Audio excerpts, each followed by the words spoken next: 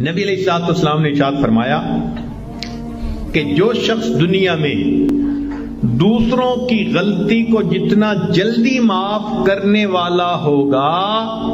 अल्लाह क्यामत के दिन उसकी गलतियों को उतना जल्दी माफ़ फरमा दे तो बजाय दिलों में कीना रखने के और बजाय दिलों के अंदर दुश्मनी पालने के,